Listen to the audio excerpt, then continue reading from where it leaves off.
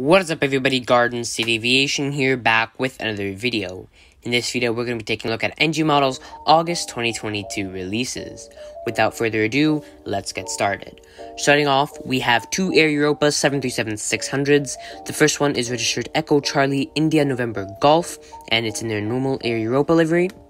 And the other one is in their pepecar.com livery, and is registered Echo Charlie India November Delta. The price of both of these is $46.99. Moving on, we have an Alaska 737-700 with the registration number 618 Alpha Sierra. This is in their new livery and costs $46.99. Moving on, we have an Alaska Air Cargo 737-700 freighter. Registration is number 625 Alpha Sierra, and the price is $46.99. Then we have a Norwegian.com 737-800 in their Freddie Mercury tail. Registration is Echo India Foxtrot Victor X-Ray, and the price of this is also $46.99. Then we have a slightly uh, higher priced 737-800. This one is Skymark's Pokemon livery. Uh, this is what it looks like. I can see why it costs more. It's probably going to cost more to produce this decal on the aircraft. Uh, the registration is Juliet Alpha 73 November Golf and costs $48.99. Moving on, we have another Skymark 737-800. This is in their normal livery and is registered Julia Alpha 73 November Mike. Moving on, we have a Lion Air 737-900ER, registered Papa Golf Lima Foxtrot Golf. No, Papa Kilo Lima Foxtrot Golf. Sorry about that. And this is in their Boeing livery, and the price of this is also $46.99. Then we have an Asia Pacific Airlines 757-200 PCF. Registration is number 757 Quebec Mike, and the price of this is also $46.99. Now, unlike Gemini, which severely up prices their aircrafts for the quality you get, I actually don't have a problem paying the higher prices uh, for Gemini or for NG models because of the fact that well, NG models is, has a lot higher quality and has a higher quality standard than uh, Gemini. Anyway, moving on, we have three Lufthansa cargo aircraft. All of them cost $59.99. The first one is just in the normal livery and is registered Delta Alpha Lima Foxtrot Foxtrot. The next one is Delta Alpha Lima Foxtrot Golf and is in their flying 100% CO2 neutral sticker. And the final Lufthansa Cargo 777F in this release is Delta Alpha Lima Foxtrot India and is in what is this livery? It is in the cargo human care sticker. So I think this has to do with something related to healthcare and tons of Cargo transporting obviously medicines and stuff like that. But um, that's just what it looks like based on a sticker. Like I said before, the price of all three is 60 bucks. Moving on, we have one more 777F in this release. This is a CMA, CGM cargo. Uh, 777F registered Foxtrot Hotel Hotel Mike Romeo Bravo, and this is what it looks like. Then we have a much anticipated model. Uh, NG did release, I believe, this way back when they were a small company. Back in 2019, I believe they released this, but uh, I, I don't know. I think they've released this before. Maybe I'm get confusing with Gemini, uh, but uh, this is number 13013 and is a United Blue Evo livery aircraft. The price of this is 58 bucks. I definitely do want to get that. Moving on, we have a China Southern A319 Neo. This one is the first one built in China. Apparently, it has a sticker on it saying that, but it's not visible in the clip art of the aircraft. The registration on that one, by the way, is Bravo 329 Yankee.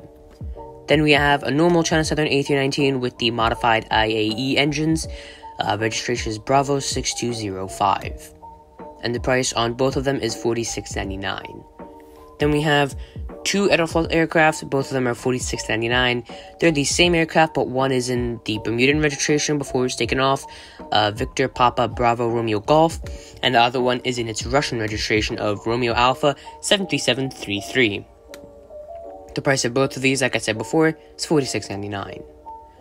Then we have an American A321 200 that costs $46.99. This is in their uh, Flagship Valor, I think it's called. Yeah, Flagship Valor uh, with the registration number 167 uh, Alpha November.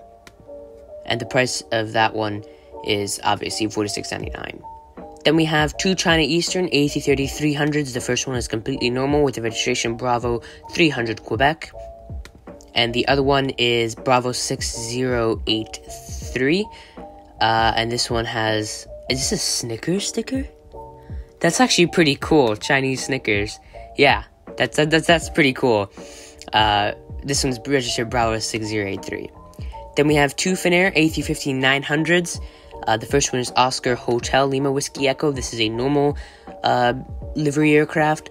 And then we have one in their Marimekko Kivet livery, uh, which has Oscar Hotel, Oscar Hotel Lima Whiskey Lima. And this is what it looks like. And the price of the A350s are $58. Now this one, this one's actually really cool. I don't think any model company has released this before. This is a Air Koryo Tu-204-100. This is essentially North Korea's national airline. I do want to get this just because no other model company has released this, and it, it's pretty cool. Uh, registration is Papa 633, and the price of this Tu-204 is $46.99. And then we have a Comac Express uh, ARJ 21 700, registered Bravo 3322, and the price of that is $47. And the final model in this release is a Chinese Chinese People's Liberation Army, I believe it is, uh, Jianhuai 20 with registration 11157 and the price of that is $56 and it is in its low visibility livery meaning that uh, it's painted in gray paint and doesn't really have a lot of decals uh, because those are make the plane more visible. And uh, yeah that pretty much wraps up this release. There is a lot of 1 to 400 models. There's not even one 1 to 200 model that's been released. Uh, i really enjoy what ng's been doing lately uh, coming out with all these new molds and just all these strange liveries that Gemini doesn't really ever go to. I mean, have you ever seen Gemini release a CMA CGM cargo aircraft? Or have you ever seen Gemini release an Air Koryo aircraft? So that's really why I like NG a lot more than Gemini, for the fact that they try things while Gemini just stays on its pedestal until it slowly falls because of its absolutely horrible quality control. But uh, if I had to get anything from this release, I would probably end up going for the Alaska 737 700 maybe the United 78710, and the Air Koryo Tu-204. But uh, what are you getting for this release? Comment down below. And with that being said, that does conclude this video. If you liked the video, please consider liking, subscribing to my channel, and commenting down below. Anyways, that's all from me. Until next time, see ya.